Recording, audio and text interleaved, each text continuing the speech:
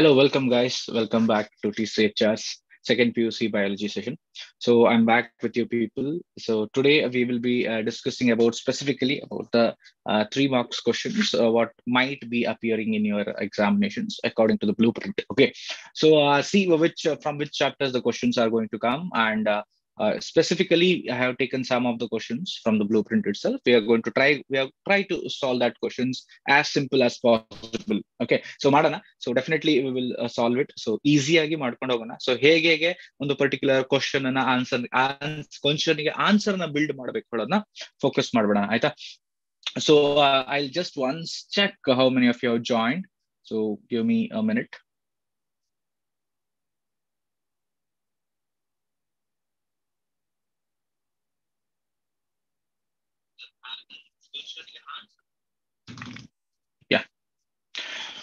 Okay. Uh, so uh, I'll share the screen now, so we can uh, directly go to the questions, and uh, I'll tell you from which chapter it is coming on and what is the uh, what is the specifically as we are doing three marks questions.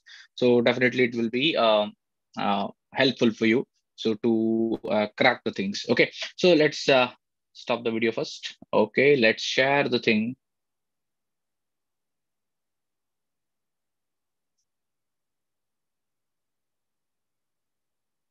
Yeah. Okay. Okay. So uh, first question, what you see is uh, the distinguish between external fertilization and internal fertilization. Definitely, this is the question which is going to come from your uh, uh, the second PUC's first chapter, right? So ಮೊದಲನೇ chapter ಇಂದ ಇದು ಬರುವಂತ question ಅಲ್ವಾ so that is the which one The internal and external fertilization. Right? Yes. So let's solve it. Okay? Okay. First we'll take the external fertilization. And over here we are going to take internal fertilization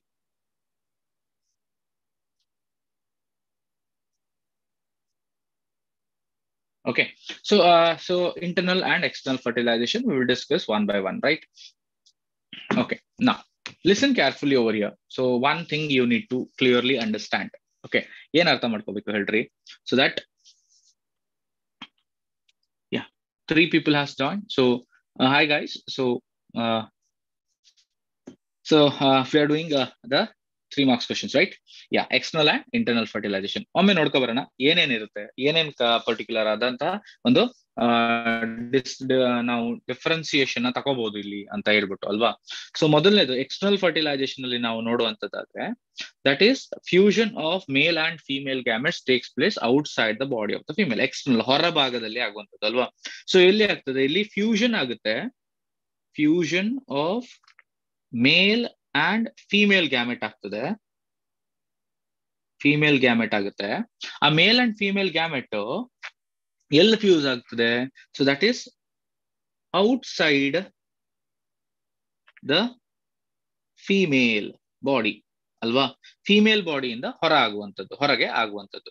ಹಾಗಾದ್ರೆ ಇಲ್ಲೊಂದು medium ಇದೆ ಅಲ್ವಾ? That is the medium is going to be water water is medium okay so ನಾವು specific ಆಗಿ ಇದನ್ನ ಬರಿಬೇಕು. ಯಾಕೆ ಅಂತ ಅಂದ್ರೆ ಇದು ನಮ್ಗೆ ಏನ್ ಮಾಡ್ತದೆ? ಮಾರ್ಕ್ಸ್ ಅನ್ನ ಬೂಸ್ಟ್ ಮಾಡ್ತದೆ. ಸೊ ನಮ್ಗೆ ಗೊತ್ತಿದೆ ಅಂತ ಹೇಳಿ ಅರ್ಥ ಆಗ್ತದೆ, ಆಯ್ತಾ? ಸೊ ಫ್ಯೂಷನ್ ಸೊ ಒಂದು ಪರ್ಟಿಕ್ಯುಲರ್ ಮೇಲ್ ಮತ್ತೆ ಫಿಮೇಲ್ ಗ್ಯಾಮೆಟ್ಗಳು ಇರ್ತಾವಲ್ವಾ? ಸೊ ಅವುಗಳು ಕೂಡ್ಕೊಳ್ಳುವಂಥದ್ದು ಇಲ್ಲಿ ಫಿಮೇಲ್ ಅಲ್ಲಿ. ಫಿಮೇಲ್ ಫಿಮೇಲ್ನ ಹೊರಭಾಗದಲ್ಲಿ ಬಾಡಿ ಹೊರಭಾಗದಲ್ಲಿ, ಆಯ್ತಾ? ಸೊ ಹಾಗೆ ಇಂಟರ್ನಲ್ ಅಲ್ಲಿ ಏನಾಗ್ತದೆ? ಸೊ ಇಂಟರ್ನಲ್ ಅಂದ್ರೆ ಒಳಭಾಗದಲ್ಲಿ ಅಲ್ವಾ? ಸಿಂಪಲ್ ಸೊ ಗ್ಯಾಮೆಟ್ಸ್ಗಳು fuse ಆಗುವಂತದ್ದು fusion of gametes fusion of gametes takes place takes place inside the female body. ಅಲ್ವಾ? ಸೊ ವೆರಿ ಸಿಂಪಲ್ ಆದಂಥದ್ದು. ಸೊ ಒಂದು ಫ್ಯೂಷನ್ ಆಗ್ತದೆ, ಎಲ್ಲಿ? ಒಳಗಡೆ ಆಗ್ತದೆ. ಸೊ ಅದಕ್ಕೆ ನಾವು ಇಂಟರ್ನಲ್ ಅಂತ ಹೇಳಿ ಕರೆದ್ವಿ. ಅಲ್ವಾ? ಎರಡನೇ ನೋಡುವ. ಸೊ ಸೆಕೆಂಡ್ ಒನ್ ಏನ್ ಬರ್ತದೆ? ಸೊ ಹೊರಭಾಗದಲ್ಲಿ ಫ್ಯೂಷನ್ ಆಗೋದ್ರಿಂದ so chances will be chances of fusion is less. Chances of fusion ಏನಾಗಿರ್ತದೆ external ಅಲ್ಲಿ ಕಡಿಮೆ ಆಗಿರ್ತದೆ. ಯಾಕೆ ಹೇಳ್ರಿ? ಹೊರಭಾಗದಲ್ಲಿ ಇರ್ತದೆ. ನೀರು ಅದರ ಮೀಡಿಯಂ ಆಗಿರ್ತದೆ, ಅಲ್ವಾ? ಸೊ ನೀರು ಅದರ ಮೀಡಿಯಂ ಆಗಿರೋದಕ್ಕೆ ಕಾರಣ ಏನು? ಈ ನೀರು ಮೀಡಿಯಂ ಆದ್ರೆ so the water current can carry the gametes anywhere ಅಲ್ವಾ? ಸೊ ಹಾಗಾಗಿ ಚಾನ್ಸಸ್ ಆಫ್ ಫ್ಯೂಷನ್ ಏನಾಗಿರ್ತದೆ? ಕಡಿಮೆ ಆಗಿರ್ತದೆ. ಆದ್ರೆ ಇಂಟರ್ನಲ್ ಅಲ್ಲಿ ಏನಾಗಿರ್ತದೆ specifically so whenever the fusion takes place within the female body so there there wait might is there is a target right so female ಗ್ಯಾಮೆಟ್ಗೆ male gamete move ಆಗುವಂತದ್ದು ಒಂದು target ಇದೆ. ಅಲ್ಲಿ ಯಾವುದೇ ತರದ ಒಂದು ಎಕ್ಸ್ಟರ್ನಲ್ ಎನ್ವಿರಾನ್ಮೆಂಟ್ಗಳ ಎಫೆಕ್ಟ್ ಇರೋದಿಲ್ಲ. ಹಾಗಾಗಿ chances chances of fusion is more ಅಂತ ಹೇಳಿ ಕರೀತೇವೆ. Chances of fusion is more ಅಥವಾ ಫರ್ಟಿಲೈಸೇಷನ್ ಇಸ್ ಮೋರ್ ಅಂತ ಹೇಳಿ ಕರೀತೇವೆ. ಅಬ್ಸರ್ವ್ ಮಾಡ್ಕೊಂಡ್ರಿ ಅಲ್ವಾ? ಸೊ ಈಸಿ ಇದೆ ಅಲ್ವಾ? ಎರಡು ಪಾಯಿಂಟ್ ಆಯ್ತು. ಈಗ ಮೂರನೇ ಪಾಯಿಂಟ್ ತಗೊಳ್ವಾ ಸೊ ಇಲ್ಲಿ ಏನ್ ಮಾಡ್ತದೆ? ಸೊ ಎರಡು ಮೇಲ್ ಮತ್ತೆ ಫಿಮೇಲ್ ಇದೆ ಅಲ್ವಾ? ಅದು ಎರಡು ಮೋರ್ ಗ್ಯಾಮೆಟ್ಸ್ ಗಳನ್ನ ಪ್ರೊಡ್ಯೂಸ್ ಮಾಡುತ್ತೆ. ಮೋರ್ ಗ್ಯಾಮೆಟ್ಸ್ ಪ್ರೊಡ್ಯೂಸ್ಡ್ ಅಲ್ವಾ? ಸೊ ಮ್ಯಾಕ್ಸಿಮಮ್ ಗ್ಯಾಮೆಟ್ಸ್ ಗಳನ್ನ ಪ್ರೊಡ್ಯೂಸ್ ಮಾಡ್ತವೆ. Definitely it is going to make what maximum gametes ಗಳನ್ನ ಪ್ರೊಡ್ಯೂಸ್ ಮಾಡ್ತವೆ. ಇಲ್ಲಿ ಕಡಿಮೆ ಗ್ಯಾಮೆಟ್ಸ್ ಗಳನ್ನ ಪ್ರೊಡ್ಯೂಸ್ ಮಾಡ್ತವೆ ಯಾವುದು? Female always remember male more gametes ಗಳನ್ನ ಪ್ರೊಡ್ಯೂಸ್ ಮಾಡ್ತದೆ.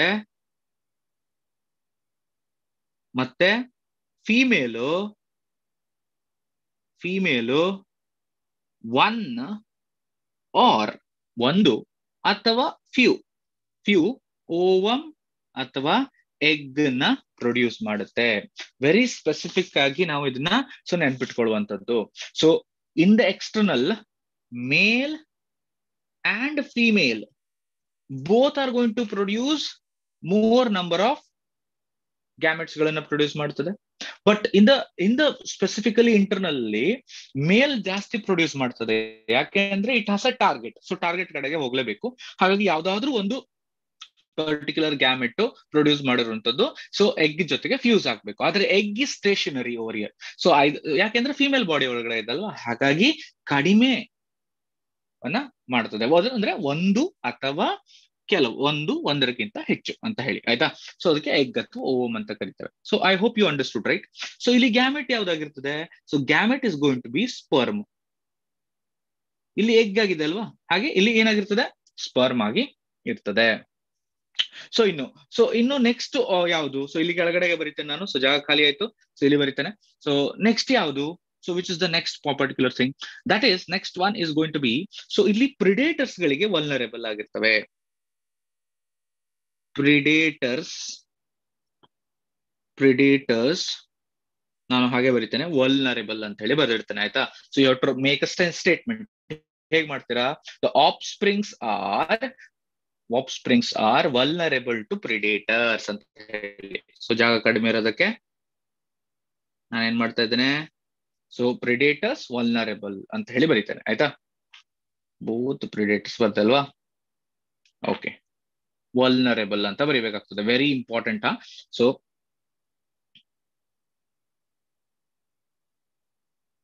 vulnerable okay so ಇಲ್ಲಿ ಏನಾಗಿದೆ? ಯಾಕೆ ವಲ್ನರೇಬಲ್ ವಲ್ನರೇಬಲ್ ಅಂದ್ರೆ ಅರ್ಥ ಏನು? ಸೊ ಫಸ್ಟ್ ಅದನ್ನ ತಿಳ್ಕೋಬೇಕು. ಪ್ರಿಡೇಟರ್ಸ್ ಅಂದ್ರೆ ಏನು?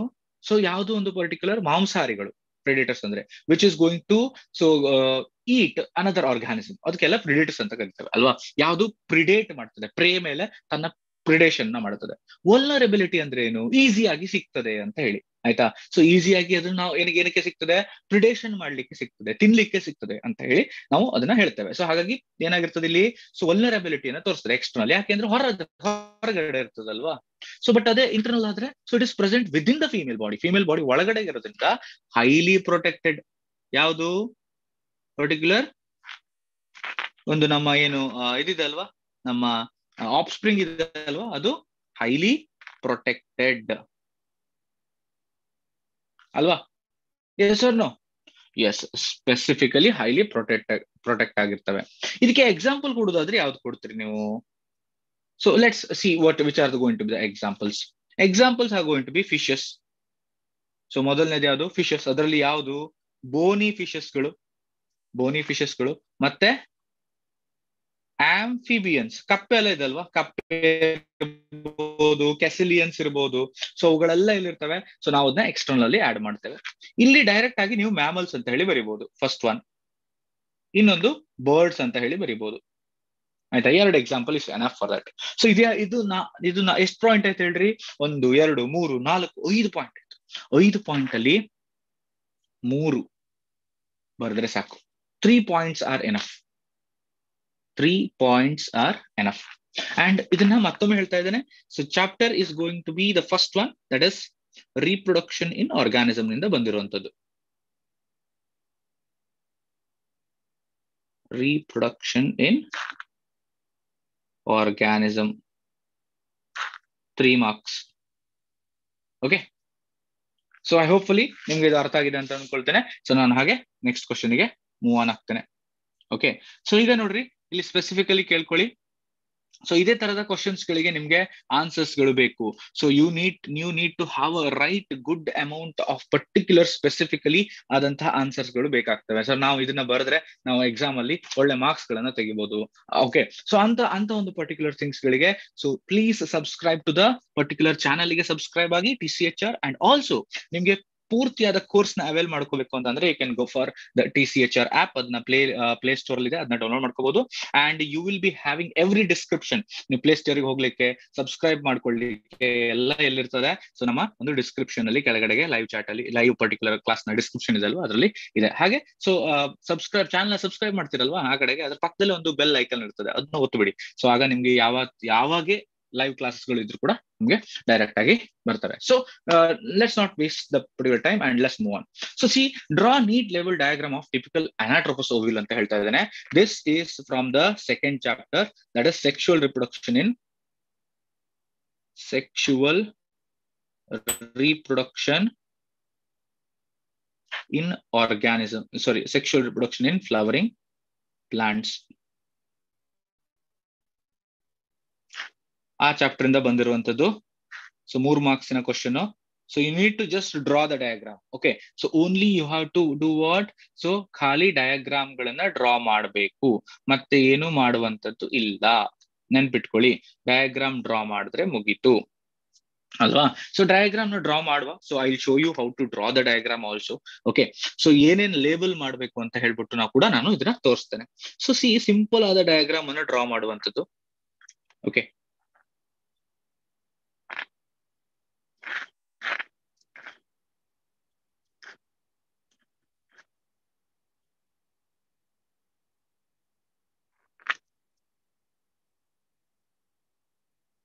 See, look at this structure. Okay.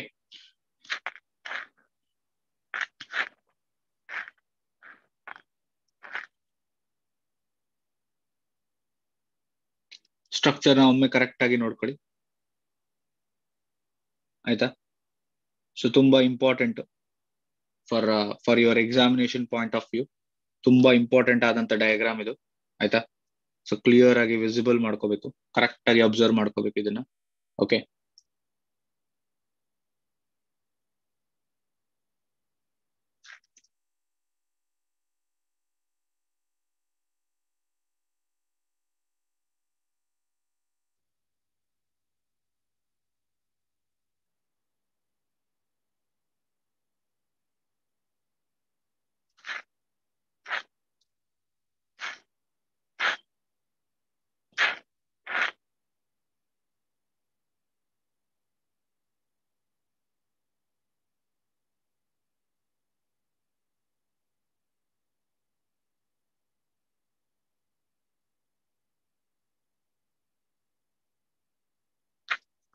okay as you can see oh yo okay correct ಆಗಿ ಕಾಣಿಸ್ತಾ ಇದೆ ಅಂತ ಅನ್ಕೊಳ್ತೇನೆ. So just we have drawn something figure ಒಂದು ಫಿಗರ್ನ ಡ್ರಾ ಮಾಡ್ತಾ ಇದೆ ನಿಮ್ಗೆ ಬೇಸಿಕಲಿ ಏನ್ ಗೊತ್ತಾಗ್ಬೇಕು ಅಂತ ಅಂದ್ರೆ ಇದರಲ್ಲಿ ಸೊ ಯಾವ ಯಾವ ಭಾಗಗಳು ಗುರುತಿಸಬೇಕು ಅನ್ನೋದು ಇಂಪಾರ್ಟೆಂಟ್ ಆಗುತ್ತೆ ಡಯಾಗ್ರಾಮ್ನ ನೀವು ಪ್ರಾಕ್ಟೀಸ್ ಮಾಡ್ಕೋಬಹುದು ಬಟ್ ಭಾಗಗಳನ್ನ ನಾವು ಗುರುತಿಸೋದು ತುಂಬಾ ಇಂಪಾರ್ಟೆಂಟ್ ಆದಂತಹ ಪಾಯಿಂಟ್ ಆಯ್ತಾ? ಸೊ ಒಂದೊಂದೇ ಭಾಗಗಳನ್ನ ಗುರುತಿಸ್ತಾ ಹೋಗೋಣ. ಆಯ್ತಾ? So this basic structure you need to draw so ಮೊದಲು ಈ ಬೇಸಿಕ್ ಸ್ಟ್ರಕ್ಚರ್ನ ಡ್ರಾ ಮಾಡ್ಕೋಬೇಕು. ನಂತರದಲ್ಲಿ ಫಸ್ಟ್ ಮಾಡುವಂತದ್ದು ಯಾವುದು ಅಂತ ಅಂದ್ರೆ outer integument. ಔಟರ್ ಇಂಟೆಗ್ಯುಮೆಂಟ್ನ ಬರಿಬೇಕು. ನಂತರ ಇನ್ನರ್ ಇಂಟೆಗ್ಯುಮೆಂಟ್ನ ಬರಿಬೇಕು.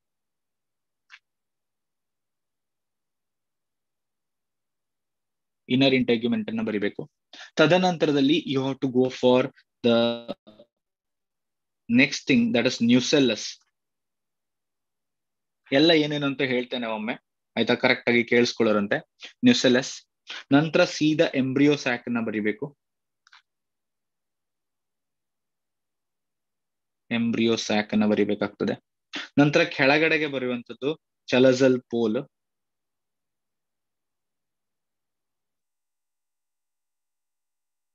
ಓಕೆ ಅಥವಾ ಎಂಡ್ ಅಂತ ಹೇಳಿ ಕೂಡ ಇದನ್ನ ಕರಿತವೆ. ಓಕೆ ನಂತರ ಏನ್ ಬರಿಬೇಕಾಗ್ತದೆ?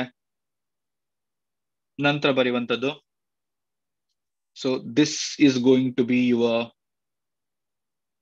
micropyle okay micropylar pole micropylar pole ಆದ್ರೆ this is going to be micropyle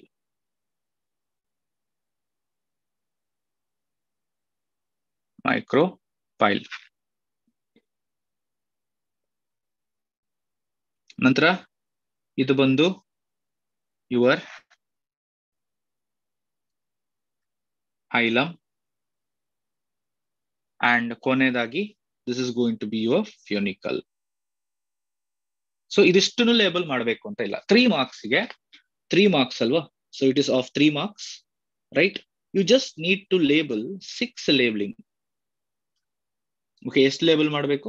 ಆರು ಲೇಬಲ್ಗಳನ್ನ ಮಾಡಬೇಕು. ಲೇಬಲಿಂಗ್ ಎಷ್ಟಿರ್ಬೇಕು? ಮಿನಿಮಮ್ ಸಿಕ್ಸ್ ಸೊ ಅಂದ್ರೆ ಅರ್ಧರ್ಧ ಅರ್ಧ ಮಾರ್ಕ್ಸ್ ಒಂದೊಂದು ಲೇಬಲ್ಗೆ ಅಲ್ವಾ? ಸೊ ಇಷ್ಟೇ ಬಿಡಿಸುವಂತದ್ದು ಡಯಾಗ್ರಾಮ್ ಇದಕ್ಕಿಂತ ಜಾಸ್ತಿ ಯಾವುದೇ ಡಯಾಗ್ರಾಮ್ ಬಿಡಿಸೋದು ಬೇಡ, ಆಯ್ತಾ? ಸೊ ಏನೇನು ಅಂತ ಹೇಳ್ತಾ ಹೋಗ್ತೇನೆ ನೋಡ್ರಿ. ಔಟರ್ ಮತ್ತೆ ಇನ್ನರ್ ಇಂಟಿಗ್ಯುಮೆಂಟ್ ಅಂತ ಏನ್ ಬರ್ಕೊಂಡಿದೀರಲ್ವಾ so you can see over the outer and the inner integument these are the two protective layers ಆಯ್ತಾ? ನಂತರ ಅದ್ರ ಒಳಗಡೆ ಬರುವಂತದ್ದು ನ್ಯೂಸಿಲೆಸ್ ಪ್ಯಾರನ್ಕೈಮಟಸ್ ಪ್ರೊಟಿನೇಷಿಯಸ್ ಲೇಯರ್ದು ಏನು? ಪ್ಯಾರನ್ಕೈಮಟಸ್ ಪ್ರೊಟಿನೇಷಿಯಸ್ ಲೇಯರ್ಗೆ ನಾವು ಏನಂತ ಕರಿತೇವೆ? ಸೊ ನ್ಯೂಸೆಲಸ್ ಅಂತ ಹೇಳಿ ಕರಿತೇವೆ. ಅದ್ರೊಳಗಡೆ ಇರುವಂತದ್ದು ಏನು? ಎಂಬ್ರಿಯೋಸ್ಯಾಕ್ ಈ ನ್ಯೂಸೆಲಸ್ ಏನ್ ಮಾಡ್ತದೆ? ಎಂಬ್ರಿಯೋಸ್ಯಾಕಿಗೆ ಸೊ ನರ್ಚರಿಂಗ್ನ ಮಾಡ್ತದೆ. ಅಂದ್ರೆ ನರ್ಚರಿಂಗ್ ಅಂದ್ರೆ ಏನು? ಅದನ್ನ ಬೆಳೆಸ್ಲಿಕ್ಕೆ ಅದನ್ನ ಬೆಳಿಲಿಕ್ಕೆ ಎಂಬ್ರಿಯೋಸ್ಯಾಕ್ ಬೆಳಿಲಿಕ್ಕೆ ಸೊ ತನ್ನಲ್ಲಿರುವಂತಹ ಆಹಾರಗಳನ್ನ ಸೊ ಅದಕ್ಕೆ ಟ್ರಾನ್ಸ್ಫರ್ ಮಾಡ್ತದೆ. ನಂತರ ಬೇಸ್ ಆಫ್ ದಿಸ್ ಪರ್ಟಿಕ್ಯುಲರ್ ಏನು ಕಾಣಿಸ್ತಾ ಇದಲ್ಲ ಇಂಟೆಗ್ಯುಮೆಂಟ್ಸ್ಗಳ ಬೇಸ್ ಏನಿದೆಲ್ವಾ ಸೊ ಅದು ಚಲಜಲ್ ಪೋರ್ ಅಂತ ಹೇಳಿ ಕರೀತಾರೆ ಆಯ್ತಾ? Chalaza base of the particular every integument ಇಲ್ಲಿಂದ ಹುಟ್ಕೊಳ್ತದೆ. ಆಯ್ತಾ? ನಂತರ ಸೊ ಅದೇ ಅದರ ಅಪೋಸಿಟ್ ಅಲ್ಲಿ ಚಲಜಲ್ ಪೋರ್ನ ಅಪೋಸಿಟ್ ಅಲ್ಲಿ ಇರುವಂತದ್ದು micropyle it's a small opening yeah, ಎಲ್ಲಿ ಪರ್ಟಿಕ್ಯುಲರ್ಲಿ ಯಾವ ಜಾಗದಲ್ಲಿ ಇಂಟೆಗ್ಯುಮೆಂಟ್ಗಳು ಏನು ಎಬ್ಸೆಂಟ್ ಇರ್ತಾವಲ್ವಾ, ಅಂತ ಜಾಗಗಳಿಗೆ ಮೈಕ್ರೋಪೈಲ್ ಅಂತ ಕರಿತೇವೆ. ಆ ಮೈಕ್ರೋಪಾಲ್ನ ತುದಿಗೆ ನಾವು ಮೈಕ್ರೋಪೈಲರ್ ಪೋರ್ ಪೋಲ್ ಅಥವಾ ಪೋರ್ ಅಂತ ಹೇಳ್ಬಿಟ್ಟು ಕರಿತವೆ. ಆಯ್ತಾ? Anything you can say okay ನಾ ಸೊ ಇದನ್ನ ಚಲಜಲ್ ಪೋರ್ ಹೇಳಕ್ಕಿಂತ ಹೆಚ್ಚಾಗಿ ಕ್ಲಿಯರ್ ಆಗಿ ನಾವು ಪೋಲ್ ಅಂತ ಹೇಳಿ ಕರೆದ್ರೆ ಬೆಟರ್ ಅಂತ ಹೇಳಿ ಕರಿತೇನೆ ನಾನು. ಆಯ್ತಾ? ಚಲಜಲ್ ಪೋಲ್ ಅಂತ ಹೇಳಿ ಮಾಡಬಹುದು ಓಕೆ ನಂತರ so this base that is the particular ನಾವೇನಂತ ಒಂದು ಪರ್ಟಿಕ್ಯುಲರ್ ಫ್ಯುನಿಕಲ್ ಅಂತ ಏನಿದೆ ಅಲ್ಲ funicle is going to be the particular ಒಂದು ಪರ್ಟಿಕ್ಯುಲರ್ ನಮ್ಮ ಹೋಲ್ ಓವ್ಯೂಲ್ ಏನಿದೆ ಅಲ್ವಾ ಓವ್ಯೂಲ್ನ ಒಂದು ಬೇಸ್ ಆಗಿರ್ತದೆ, ಆಯ್ತಾ?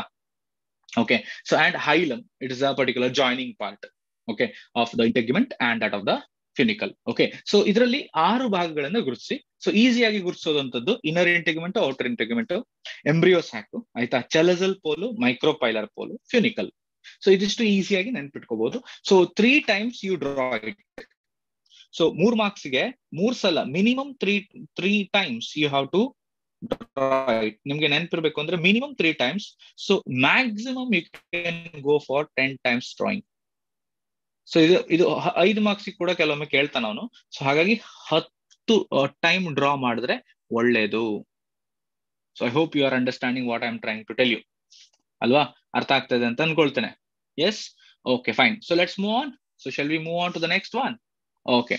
So, next question is going to be, see. So list the features ideal contraceptives. ಕೇಳ್ತಾ ಇದ್ದಾನೆ. And define the amniocentesis ಅಂತ ಹೇಳ್ಬಿಟ್ಟು ಕೇಳ್ತಾ ಇದ್ದಾನೆ ಅಲ್ವಾ? Yes so let's do so very simple question ಇದು. ಸೊ ಇದಕ್ಕೆ ಯಾವುದೇ ತರದ ಕಷ್ಟವನ್ನ ಬಿಡುವಂತದ್ದು ಏನಿಲ್ಲ. ಸೊ ನಾವೇನ್ ಮಾಡ್ಬೇಕು ಅಂತ ಅಂದ್ರೆ, ಇದು ಪರ್ಟಿಕ್ಯುಲರ್ಲಿ ರಿಪ್ರೊಡಕ್ಟಿವ್ ಹೆಲ್ತ್ ಇಂದ ಬರೋದ್ರಿಂದ ಸೊ ನಾವು ಈಸಿಯಾಗಿ ಎಲ್ಲಿಂದ ಏನ್ ಮಾಡುವಂತದ್ದು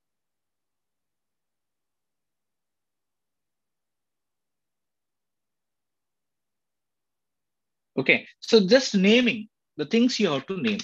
Okay so list the features features ಗಳನ್ನ ನೇಮ್ ಮಾಡುವಂತದ್ದು ಯಾವುದೇ ತರದ ಡಿಸ್ಕ್ರಿಪ್ಷನ್ ಗಳನ್ನ ಮಾಡುವಂತ ಅವಶ್ಯಕತೆ ಇಲ್ಲ. So there is nothing is that okay so let see how it's going to happen okay so the first ಕ್ವಶನ್ಗೆ ಆನ್ಸರ್ ನೋಡ್ರಿ. So that is list the features of ideal contraceptives right so yes so one by one we will understand which are the ideal thing is so it should be user friendly so it can be easily uh, used by the any of the users okay contraceptives ಗಳು. So then easily easily available. ಎಲ್ಲಾ ಕಡೆಗೆ ಸಿಗುವಂತದ್ದಾಗ್ಬೇಕು. ಅಲ್ವಾ? ಎಲ್ಲಾ ಕಡೆಗೆ ನಮ್ಗೆ ಏನಾಗ್ಬೇಕು? ಸಿಗುವಂತದ್ದು ಆಗ್ಬೇಕು okay then so next thing is going to be ಅದೇನಾಗಿರ್ಬೇಕು? Effective effective and reversible effective and reversible with no or least side effects. So ನಮ್ಮ ಬಾಡಿಯ ಮೇಲೆ ಯಾವುದೇ ತರದ ಸೈಡ್ ಎಫೆಕ್ಟ್ಸ್ ಗಳನ್ನ ಬೀಳಬಾರ್ದು. Completely it should be absent otherwise ಸಣ್ಣ, ಅದ್ರ ಸ್ವಲ್ಪ effect side effect ಇರುವಂತದ್ನ ನಾವು ಯೂಸ್ ಮಾಡಬೇಕು ಅಂತ ಅಂತ ಒಂದು ಪರ್ಟಿಕ್ಯುಲರ್ ಕ್ಯಾರೆಕ್ಟರ್ ಅದರಲ್ಲಿ ಇರಬೇಕು. ಆಯ್ತಾ? ನಂತರದ್ದು so so there should so there should be no no sexual there should be no uh, I'll, I'll specifically i'll give the word for you. So there should be no okay no interference. Interference interference okay with sexual drive sexual drive the ಪೋ the the ಇಂಟರ್ ಕೋರ್ಸ್ಗೆ ಯಾವುದೇ ತರದ ತೊಂದರೆಗಳನ್ನ, so ಒಡ್ಬಾರ್ದು. Or you can say the sexual act ಅಂತ ಹೇಳಿ ಕೂಡ ಕರಿಬಹುದು. ಸೊ ಇದಕ್ಕೆ ಯಾವುದೇ ಒಂದು ಪರ್ಟಿಕ್ಯುಲರ್ ಏನೋ ಹೋಗ್ಬಿಡ್ಬಾರ್ದು. So there should be no such the thing should happen okay so specifically that of the so ಇದು ಇದು ಏನು? ಸೆಕ್ಷುವಲ್ ಡ್ರೈವ್ಗೆ ಯಾವುದೇ ತರ ಅಡ್ಡಿ ಬರಬಾರ್ದು. ಅಂತ ಒಂದು ಕಾಂಟ್ರಾಸೆಪ್ಟಿವ್ ಗಳನ್ನ ನಾವು ಯೂಸ್ ಮಾಡ್ಕೋಬೇಕು. ಸ್ಪೆಸಿಫಿಕ್ ಆಗಿ ಹೇಳ್ತಾ ಇದ್ದೇನೆ. ಆಯ್ತಾ? ಓಕೆ ಈಗ ಕ್ಲಿಯರ್ ಕ್ಲಿಯರ್ ಆಗಿ ಇನ್ನೊಂದು ಕೇಳ್ಕೊಳ್ಳಿ. ಸೊ ನಾಲ್ಕಿದೆ ಅಲ್ವಾ? So you will you will just you need to you you need to answer any of the two okay so better to write two okay so better to write four so I am telling you ಇದು ನಾಲ್ಕನ್ನು ಬರೀರಿ. ಒಳ್ಳೇದು. So possibly ಅರ್ಧ ಯಾಕೆಂದ್ರೆ ಅರ್ಧರ್ಧ marks ಅವನು ಏನ್ ಮಾಡ್ಬೋದು? So half ಮಾರ್ಕ್ಸ್ನ he will give you so ಹಾಗಾಗಿ so you can just write all the four of them okay so ನಾಲ್ಕನ್ನ ಕೊಡ್ಬೋದು okay so D are you getting the points voice so not only boys the girls also so are you getting the things everybody so just comment below so if you are specifically ಅರ್ಥ ಆಗ್ತಾ ಇದಲ್ವ ಅಂತ ತಿಳ್ಕೊಳ್ಳಿಕ್ಕೆ ನನಗೆ ಗೊತ್ತಾಗ್ತಾ ಇಲ್ಲ ನೀವು comment ಮಾಡ್ಲಿಲ್ಲ so you are not live lively over so we this is interaction class right you have to do it okay half ಮಾರ್ಕ್ಸ್ನ provide ಮಾಡ್ತಾನೆ. ಆಯ್ತಾ? So you have to interact just not seeing will not give you the things so as the questions that is going to be very very important okay okay so second one ಯಾವುದು? So ಎರಡನೇದು ಬಂದು that is define amniocentesis ಅಂತ ಹೇಳ್ತಾ ಇದ್ದಾನೆ. Amniocentesis ಅಂದ್ರೆ ಏನಪ್ಪಾ? What is this amniocentesis is so very specifically amniocentesis is going to be a type of diagnosis ಇದೇನಿದು? Diagnosis ಮಾಡುವಂತ ಒಂದು ಟೆಕ್ನಿಕ್ ಏನು ಏನ್ ಡಯಾಗ್ನೋಸ್ ಮಾಡುವಂತದ್ದು that is going to be fetal sex so sex of the ಫೀಟಸ್ನ identify ಮಾಡುವಂತದ್ದು so definition ಹೇಗೆ ಬರ್ತದೆ ಅಂತ ಹೇಳ್ತೇನೆ. Fetal sex determination fetal sex determination test based on the chromosomal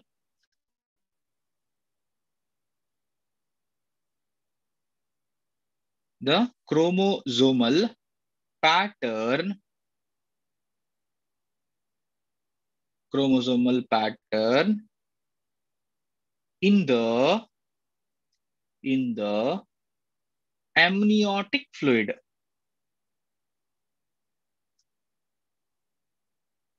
Amniotic fluid surrounding surrounding the developing the developing embryo. So ಇದಕ್ಕೆ ನಾವೇನಂತ ಹೇಳಿ ಕರಿತೇವೆ So this will be called as amniocentesis Okay, one marks question it is. Okay, so this is going to be one marks question. Simple thing. Fetal sex determination. Okay, fetal sex determination. ಮೊದಲನೇ ಭಾಗ so ಇದನ್ನ cutout ಮಾಡ್ಕೊಳ್ಳೋಣ ನೀವು cutout ಮಾಡ್ಕೊಳ್ರಿ ಓದ್ಬೇಕಾದ್ರೆ so ಮೊದಲನೇ ಭಾಗವಾಗಿ ಯಾವ್ದನ್ನ divide ಮಾಡ್ಕೊಳ್ಳಿ so foetal sex determination test ಅನ್ನೋದನ್ನ ಫಸ್ಟ್ ಭಾಗವಾಗಿ ಡಿವೈಡ್ ಮಾಡ್ಕೊಳ್ಳಿ. ಸೊ ಈಸಿಯಾಗಿ ನೆನ್ಪಿಟ್ಕೋಬಹುದು ಎರಡನೇ ಭಾಗವಾಗಿ ಸೊ ಯಾವ್ದ್ರ ಬೇಸಿಸ್ ಮೇಲೆ? So based on the chromosomal pattern so chromosomal pattern ಇರೋದ್ರ ಮೇಲೆ ಸೊ ಮಾಡುವಂತದ್ದು ಆಯ್ತಾ? ಸೊ ಇದು ದ ಥಿಂಗ್ ಆಯ್ತು. ಸೊ ಈಗ ನೆಕ್ಸ್ಟ್ ಒನ್ ಯಾವುದು? ಸೊ ಎಲ್ಲಿ ಮಾಡ್ತೇವೆ? Where we are going to do it in the amniotic fluid surrounding the developing embryo this going to be third part ಈ ಡೆಫಿನೇಷನ್ ಮೂರು ಭಾಗಗಳಾಗಿ ಡಿವೈಡ್ ಮಾಡ್ಕೊಳ್ಳುವಂಥದ್ದು. ಫಿಟಲ್ ಸೆಕ್ಸ್ ಡಿಟರ್ಮಿನೇಷನ್ ಸೊ ಅಂದ್ರೆ so ಒಂದು ಮಗುವಿನ ಒಂದು ಅಂಗವನ್ನ ತಿಳ್ಕೊಳ್ಳುವಂಥದ್ದು. ಜೆಂಡರ್ ಅಂತ ಏನ್ ಕರಿತೇವೆ? ಅಲ್ವಾ? ಅದನ್ನ ತಿಳ್ಕೊಳ್ಳುವಂಥದ್ದು. ಹೇಗೆ ತಿಳ್ಕೊಳ್ತೇವೆ? ಬೇಸ್ಡ್ ಆನ್ ದ ಕ್ರೋಮೋಸೋಮ್ ಎಲ್ಲಿರ್ತದೆ ಈ ಕ್ರೋಮೋಸೋಮ್ ಸೊ ಎಮ್ನಿಯಾಟಿಕ್ ಫ್ಲೂಯಿಡ್ ಯಾವುದು? ಮಗುವಿನ ಸುತ್ತಲೂ ಇರ್ತದಲ್ವಾ? So in the particular uterus so ಆ ಒಂದು ಪರ್ಟಿಕ್ಯುಲರ್ ಫ್ಲೂಯಿಡ್ನ ಯುಟಿಲೈಸ್ ಮಾಡಿಕೊಂಡು ನಾವು ಕಂಡುಹಿಡಿಯುವಂತದ್ದು ಸೊ ಇದಕ್ಕೆ ಏನಂತ ಹೇಳಿ ಕರಿತೇವೆ ನಾವು so that is what is known to be as the amniocentesis understood hopefully understood ಅಂತ ಅನ್ಕೊಳ್ತೇನೆ please comment below if you are not understood okay so let's move to the next question right so very easiest question it is okay what is that schematically represent one gene inheritance in the pea plant ಯಾವ ಚಾಪ್ಟರ್ನ question ಹೇಳ್ರಿ ನೋಡುವ so this is the this is the question from the chapter so i'll write in the ಮೇಲ್ಗಡೆಗೆ ಬರೀತೇನೆ section ಅಲ್ಲಿ it's going to be question from principle principles of inheritance and variation okay so ಈ ಚಾಪ್ಟರ್ನ question ಇದು ಎಷ್ಟು marks question again for three marks okay ಖಾಲಿ schematically representation ಯಾವುದೇ ತರದ ಏನ್ ಬರೆಯೋದು ಬೇಡ. So you should not write any of the description for it just you should go for which one the particular schematic representation ಹೇಗೆ schematic representation representation ಮಾಡುವಂಥದ್ದು? So one by one will take it the first one is going to be parents phenotype so Mendel ತಗೊಳ್ಳುವಂತ parents phenotype one gene of inheritance ಅಂದ್ರೆ ಏನು ಅಂತ ನೆನ್ಪಿಟ್ಕೋಬೇಕು? ಯಾವತ್ತು? That is monohybrid cross always remember this is monohybrid cross ಆಯ್ತಾ? So one gene inheritance ಅಂದ್ರೆ monohybrid cross two gene inheritance ಅಂದ್ರೆ hybrid cross okay so just remember that okay so parent genotype ಯಾವುದು ತಗೊಂಡಿದ್ದಾನೆ? ನಮ್ಮ ಮೆಂಡಲ್ ಯಾವ್ದು ತಗೊಂಡ? That is going to be the ಒಂದನ್ನ female ಅಂತ ಕನ್ಸಿಡರ್ ಮಾಡ್ತಾನೆ. ಆ ಫೀಮೇಲ್ ಯಾವುದು? That is homozygous homozygous tall ಅದನ್ನ ಯಾವ್ದ್ರ ಜೊತೆಗೆ ಕ್ರಾಸ್ ಮಾಡ್ತಾನೆ?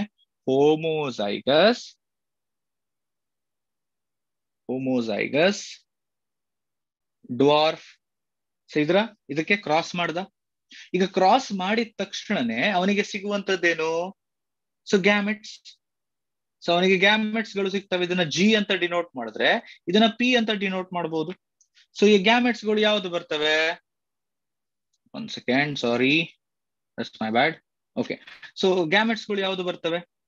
ಸೊ ಜಸ್ಟ್ ಐ ಐ ಪುಟ ಪುಟ ಪುಟ ಜಸ್ಟ್ ಆರೋ ಮಾರ್ಕ್ ಹಾಕ್ತೇನೆ ನೋಡ್ರಿ. ಡಿಫ್ರೆನ್ಸಿಯೇಷನ್ ಮಾಡ್ಕೋಬಹುದು so the particular gametes is going to be so ನಾವು ಟಾಲ್ ಅನ್ನ ಕ್ಯಾಪಿಟಲ್ ಟಿ ಕ್ಯಾಪಿಟಲ್ ಟಿ ಅಂತ ಹೇಳುವಂತ ಒಂದು ಅಲಿಲಿಂದ ಡಿನೋಟ್ ಮಾಡ್ತೇವೆ. ಡ್ವಾರ್ಫ್ನ ಸ್ಮಾಲ್ ಟಿ ಸ್ಮಾಲ್ ಟಿ ಅನ್ನೋ ಒಂದು ಅಲಿಲಿಂದ ನಾವು ಏನ್ ಮಾಡ್ತೇವೆ? ಅದನ್ನ we are going to do what denote it ನಾವು ಏನಾಗುತ್ತೆ?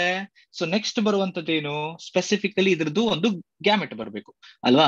ಗ್ಯಾಮೆಟ್ ಯಾವ್ದು ಬರ್ತದೆ? ಕ್ಯಾಪಿಟಲ್ ಟಿ ಬರ್ತದೆ. ಇದಕ್ಕೊಂದು ಎನ್ ಸರ್ಕಲ್ ಮಾಡಬೇಕು. So encircling shows that it is going to be gamete ಇಲ್ಲಿ ಸ್ಮಾಲ್ ಟಿ ಬರ್ತದೆ. ಸೊ ಅಲೀಲ್ಗಳು ಬಂದ್ವಲ್ವಾ? ಹಾ. ಸೊ ಈಗ ಏನಾಗ್ತವೆ ಇವುಗಳು? So these are going to fuse right so fusion ಆಗ್ಲೇಬೇಕು. There is no option is there so because cross ಮಾಡಿ ಆಗಿದೆ, ಹಾಗಾಗಿ ಫ್ಯೂಷನ್ ಆಗ್ಲೇಬೇಕು. ಸೊ ಫ್ಯೂಷನ್ ಆದಾಗ ನಮ್ಗೆ ಏನ್ ಸಿಗುತ್ತೆ? ಒಂದು ಪರ್ಟಿಕ್ಯುಲರ್ ಜನರೇಷನ್ ಮೊದಲನೇ ಜನರೇಷನ್ ಸಿಗುತ್ತೆ. ಸೊ ಆ ಮೊದಲನೇ ಜನರೇಷನ್ ಯಾವುದು? ಎಫ್ ಒನ್ ಜನರೇಷನ್ ಅಂತ ಹೇಳಿ ಕರಿತೇವೆ. ಅದಕ್ಕೆ ಏನಂತ ಹೇಳಿ ಕರಿತೇವೆ? We going to call the match to be F one generation F one generation ಅಂದ್ರೆ ಏನು? First filial generation I hopefully ನಿಮ್ಗೆ ಇದು ನೆನಪಿದೆ ಅಂತ ಅನ್ಕೊಳ್ತೇನೆ. ಫಸ್ಟ್ ಫೀಲಿಯಲ್ ಜನರೇಷನ್ ಅಂತ ಹೇಳಿ ಕರಿತೇವೆ. ನಮ್ಗೆ first filial generation ಸಿಗುವಂತದ್ದು so this one so capital T small T ಕೂಡ್ಕೊಂಡು ಹಾಗಾಗಿ ಏನ್ ಸಿಕ್ತು? We got tall plant because of the law of dominance right ನಮ್ಗೆ ಇಲ್ಲಿ ಲಾ ಆಫ್ ಡಾಮಿನೆನ್ಸ್ ಆಕ್ಟ್ ಆಗ್ತಾ ಇದೆ. ಹಾಗಾಗಿ ನಮ್ಗೆ ಯಾವ ಪ್ಲಾಂಟ್ ಸಿಕ್ತು? ಪರ್ಟಿಕ್ಯುಲರ್ಲಿ ಟಾಲ್ ಪ್ಲಾಂಟ್ ಸಿಕ್ತು.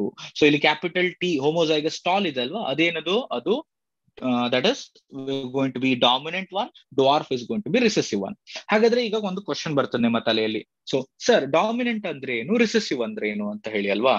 Dominant is those kinds of genes are the alleles which is going to express their character ತನ್ನ ಕ್ಯಾರೆಕ್ಟರ್ ಗಳನ್ನ ಎನ್ಸೈಮ್ಗಳ ಮುಖಾಂತರ ಎಕ್ಸ್ಪ್ರೆಸ್ ಮಾಡ್ಕೊಳ್ತವೆ. ಸೊ ಹಾಗಾದ್ರೆ ವಾಟ್ ಆರ್ ಡ್ವಾರ್ಫ್ ಅಂತ ಕೇಳ್ಬೋದು ನೀವು? So that is going to be the particular type of alleles or the uh, particular genes which is not going to express their character or you can say if they are expressing their characters even so in the form of enzymes so ಅವುಗಳಲ್ಲಿ ಏನಾಗೋದಿಲ್ಲ so ಆ ಆ enzyme ಗಳಿಗೆ ಯಾವುದೇ ತರದ active enzyme ಗಳಾಗಿರೋದಿಲ್ಲ right so that is why they are called as recessive okay so ನಾವು specifically ಕೇಳ್ಕೊಳ್ಳಿ ಇದು ಯಾವ ಟಾಲ್ ಇದು ಎರಡು ಬೇರೆ ಬೇರೆ ಅಲೀಲ್ಗಳಿದಾವೆ ಸೊ ಎರಡು ಬೇರೆ ಬೇರೆ ಅಲಿ ಅಲೀಲ್ಗಳಿದ್ರೆ so it is going to be impure plant right so that is heterozygous ಅಂತ ಹೇಳಿ ಕರಿತೇವೆ. ಹೆಟಿರೋಸೈಗಸ್ ಟಾಲ್ ಆಯ್ತು. ಸೊ ಮೆಂಡಲ್ ಇಲ್ಲಿಗೆ ಬಿಟ್ನ? ಇಲ್ಲ. ಸೊ ಏನ್ ಮಾಡ್ತಾನೆ? ಎಫ್ ಒನ್ ಜನರೇಷನ್ನ ಹೈಬ್ರಿಡ್ ಮಾಡ್ತಾನೆ.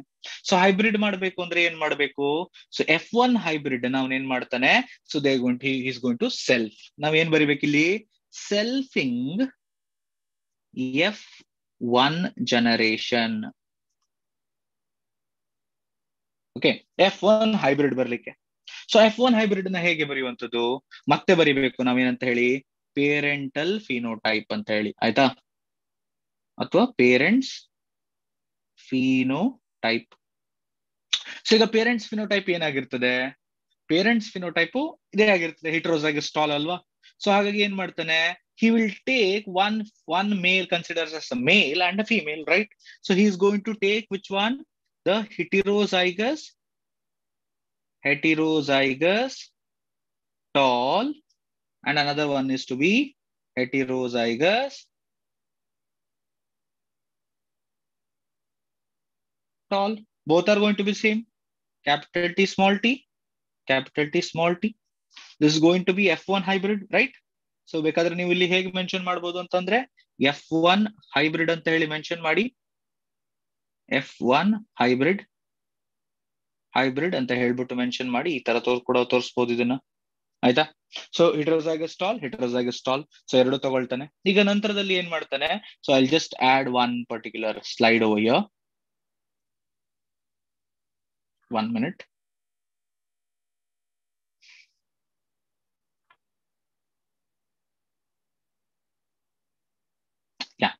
see. So ಈಗ ಒಂದು ಪರ್ಟಿಕ್ಯುಲರ್ ಅವನೇನ್ ಮಾಡ್ತಾನೆ? ಸೊ ಅದನ್ನ ಕ್ರಾಸ್ ಮಾಡ್ತಾನೆ. ಸೊ ಸೆಲ್ಫ್ ಮಾಡಿದಾನಲ್ವಾ? ಸೆಲ್ಫ್ ಮಾಡಿದಾಗ ಸೊ ಇಲ್ಲಿ ಗ್ಯಾಮೆಟ್ಸ್ಗಳು ಹೊರಗಡೆಗೆ ಬರ್ತವೆ. ಸೊ ಯಾವ ಯಾವ ಗ್ಯಾಮೆಟ್ಸ್ಗಳು ಹೊರಗಡೆ ಬರ್ತವೆ? ಬರ್ಕೊಳ್ಳೋಣ ಫಸ್ಟ್ ಗ್ಯಾಮೆಟ್ಸ್ ಜಿ ಅಂತ ರಿಪ್ರೆಸೆಂಟ್ ಮಾಡ್ತಾ ಇದ್ವಿ. That is going to be so ನಮ್ಗೆ ಏನಿತ್ತು? ಕ್ಯಾಪಿಟಲ್ ಟಿ ಸ್ಮಾಲ್ ಟಿ ಇತ್ತಲ್ವಾ? ಸೊ ಅದನ್ನ ಏನ್ ಮಾಡುವ ನಾವು? Capital T and small T so separate ಆಗುತ್ತೆ. ಸೊ ಇಲ್ಲಿ ಇಲ್ಲಿ ಒಂದು, ಇಲ್ಲಿ ಕೂಡ ಒಂದು ಲಾ ಆಕ್ಟ್ ಆಗ್ತಾ ಇದೆ. So you can see so in the last slide so ಇಲ್ಲಿ ನೋಡಿ ಕ್ಯಾಪಿಟಲ್ ಟಿ ಕ್ಯಾಪಿಟಲ್ ಸೆಲ್ಫ್ ಮಾಡಿದ್ವಿ. ಸೊ ಇಲ್ಲಿ ಅದು ಸಪರೇಟ್ ಆಗಿದೆ ಗ್ಯಾಮೆಟ್ಸ್ಗಳ ರೂಪದಲ್ಲಿ, ಹೌದಾ? ಸೊ ಇಲ್ಲಿ ಯಾವ ಲಾ ಲಾ ಆಕ್ಟ್ ಆಗ್ತಾ ಇದೆ? The law is getting acted over here is the law of segregation law of segregation ಏನ್ ಹೇಳ್ತದೆ? So during the formation of gametes okay during the formation of gametes ಅಲೀಲ್ಸ್ಗಳು separate ಆಗ್ತವೆ ಅಂತ ಹೇಳ್ತದೆ. So that is going to be the law of segregation so ಈ ಈ particular gametes ಗಳನ್ನ ನಾವು Punnett square ಅಲ್ಲಿ ಹಾಕುವ. ಯಾವ್ದ್ರಲ್ಲಿ ಹಾಕುವ? We are going to put in Punnett square so let's make a Punnett square over here right we have made one Punnett square okay ಈಗ ಎಂತ ಮಾಡುವ? ಸೊ ಕರೆಕ್ಟ್ ಆಗಿ ಪುನೆಟ್ ಸ್ಕ್ವೇರ್ ಅನ್ನ ಮಾಡ್ಕೊಳ್ವ. ನೋಡಿ, ಆಯ್ತು. ಓಕೆ ಸೊ ಮತ್ತೆ ಮಾಡುತ್ತೇನೆ. Okay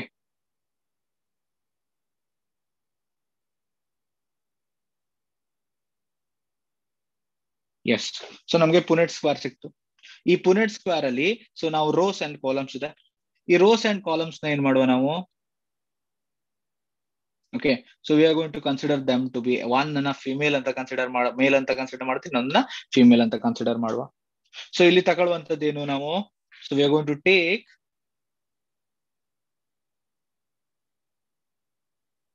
ya so this is going to be what we are going to take. So ಇಲ್ಲಿ ಕ್ಯಾಪಿಟಲ್ ಟಿ ಅನ್ನ ತಗೊಳ್ತೇವೆ, ಇಲ್ಲಿ ಸ್ಮಾಲ್ ಟಿ ಅನ್ನ ತಗೊಳ್ತೇವೆ, ಇಲ್ಲಿ ಕ್ಯಾಪಿಟಲ್ ಟಿ ಅನ್ನ ತಗೊಳ್ತೇವೆ, ಇಲ್ಲಿ ಸ್ಮಾಲ್ ಟಿ ಅನ್ನ ತಗೊಳ್ತೇವೆ. ಸೊ ಈಗ ಏನ್ ಮಾಡ್ಬೇಕು? ಸೊ ಇದನ್ನ ನಾವು ಮಲ್ಟಿಪ್ಲೈ ಮಾಡ್ತಾ ಹೋಗ್ಬೇಕು, ಅಲ್ವಾ? ಸೊ ಮಲ್ಟಿಪ್ಲೈ ಮಾಡ್ಬೇಕಾದ್ರೆ ನಾವು ಇನ್ನು ಸಣ್ಣ ಜಾಗವನ್ನ ಇಟ್ಕೋಬೇಕು. Capital T small T so sorry ya capital T capital T capital T small T capital T small t.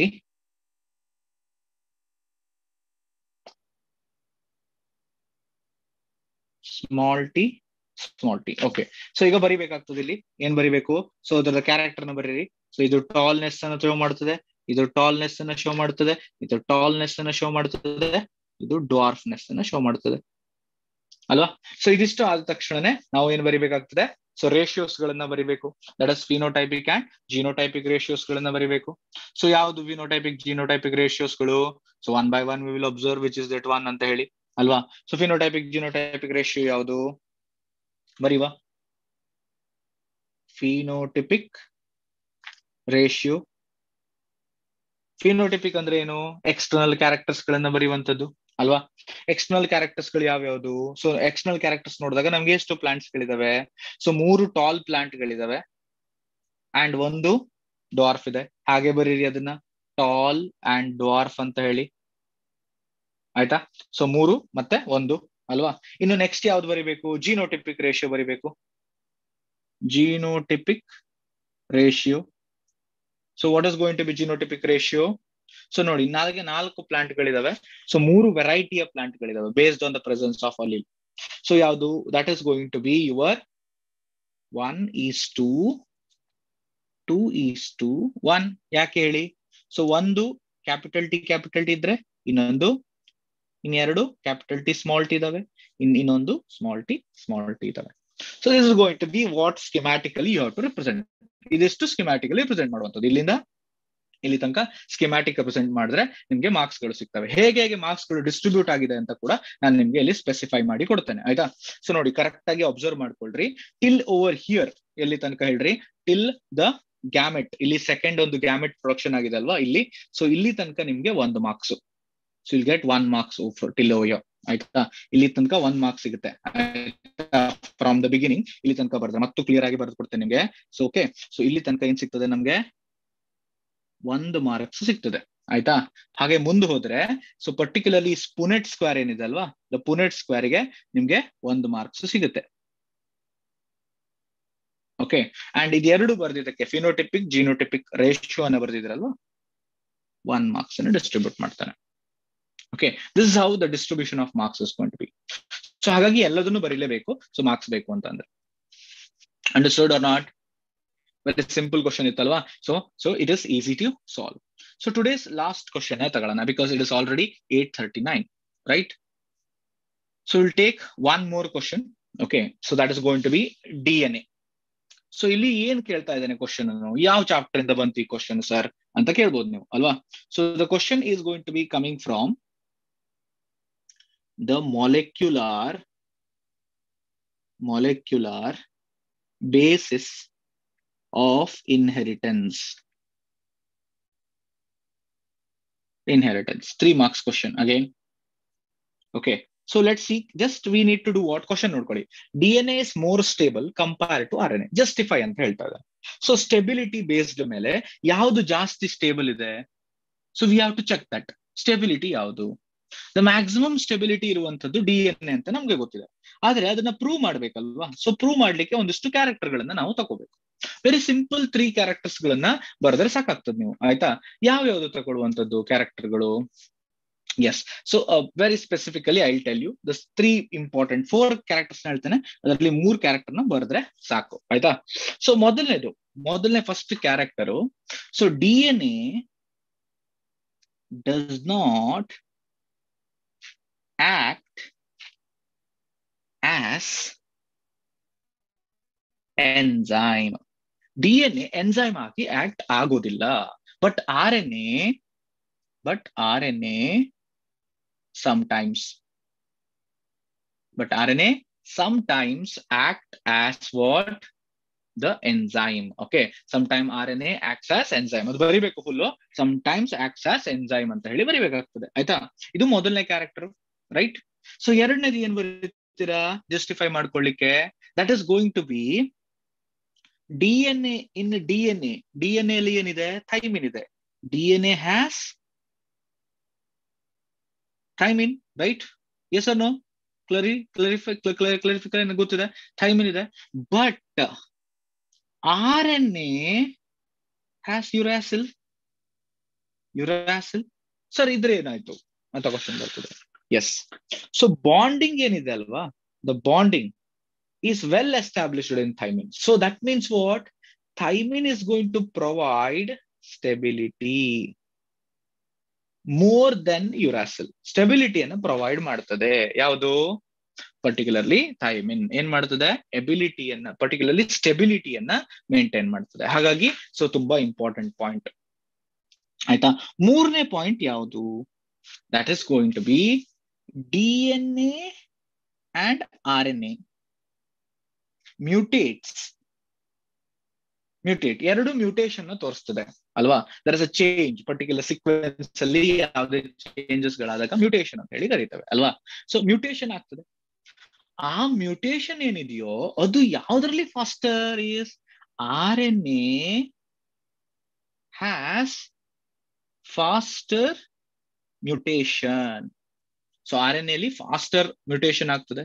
So ಹಾಗಾಗಿ R N A is less stable so R N A is less stable ಆಯ್ತಾ? ಇದಕ್ಕೆ best example ಯಾವ್ದು ಹೇಳ್ರಿ? Corona virus ಅಲ್ವಾ? Corona ವೈರಸ್ಗಳಲ್ಲಿ ಹಲವು ತಳಿಗಳು ತಳಿಗಳು ಬಂದಿದ್ದಾವೆ. ಸೊ ಯಾಕೆ ಅಷ್ಟು ಬೇಗ ತಳಿಗಳು ಬರ್ತಾ ಇದಾವೆ because of the presence the genetic material R N ಎಲ್ಲಿ so R N A genetic material ಇರೋದ್ರಿಂದ ಮ್ಯಾಕ್ಸಿಮಮ್ ನಂಬರ್ ಆಫ್ ನಾವು ಒಂದು ಸ್ಟ್ರೈನ್ಸ್ ಗಳನ್ನ ನೋಡ್ತಾ ಇದ್ದಾವೆ, ಅಲ್ವಾ? So that is the how does the mutation works ಹಾಗಾಗಿ ಆರ್ ಎನ್ ಎ ಸ್ಟೇಬಲ್ ಇಲ್ಲ ಅಂತ ಹೇಳ್ತೇವೆ. Okay so and the last one the last one is going to be ಇದು ಇದು ಇದು ಸ್ವಲ್ಪ ಸ್ವಲ್ಪ ಕಾಂಪ್ಲಿಕೇಟೆಡ್ ಇದೆ but I I try to make it very easy for you okay first I just write it down so you can so that ನಿಮ್ಗೆ understand ಆಗಲಿ ಅಂತ ಹೇಳಿ. So D N A is more stable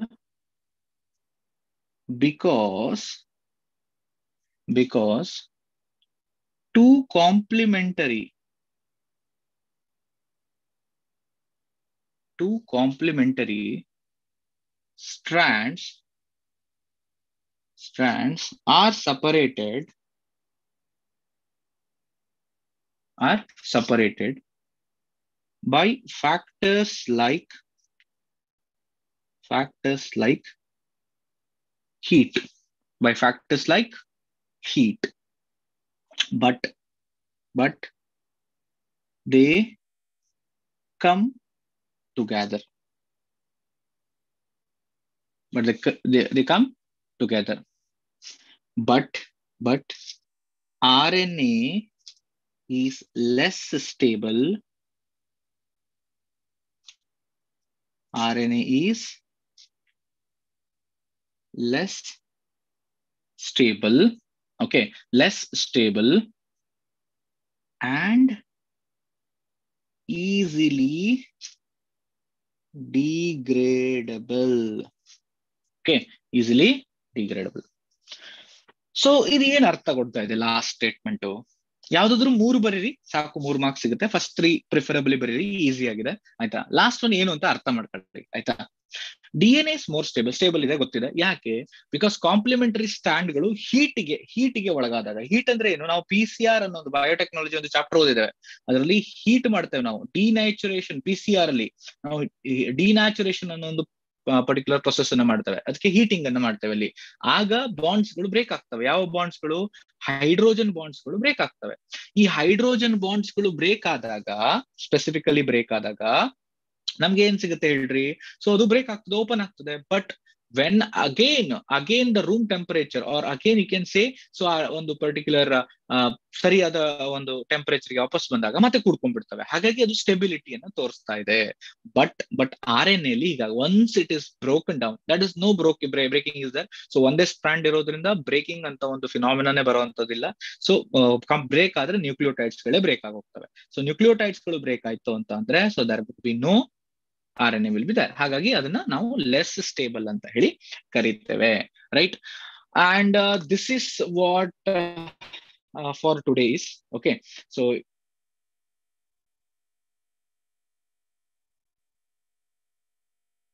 so this is uh, the today's uh, thing is and uh, yeah uh, so any doubts ಗಳಿದ್ರೆ so ಕೇಳ್ಬೋದು so i am uh, I, I can take any of the doubts from you people. So i am waiting for you people for the doubts. So i'll just switch on to my camera. I uh, i'm sharing and stopping the share. Okay. Yeah yeah i'm ready. So you can give me the any of the questions. I am here with my uh, thing. So i'm watching you people. So uh, ask the questions. Any questions? Silly whatever the silly questions it may be. Right? Yeah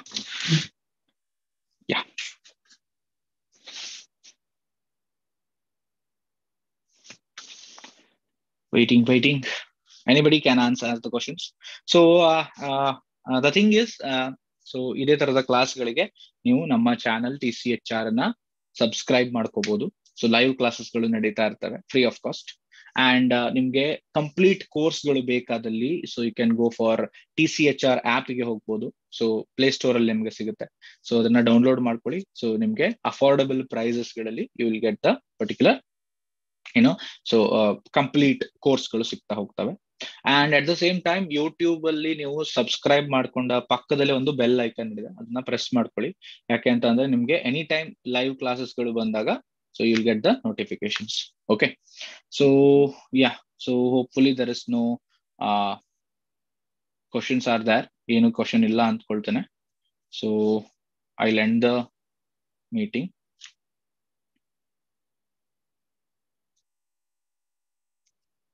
okay uh, so hopefully i thought specifically today that uh, you will be discussing something. Okay. Okay anyway so thank you uh, everybody. So bye. Jai jai karnataka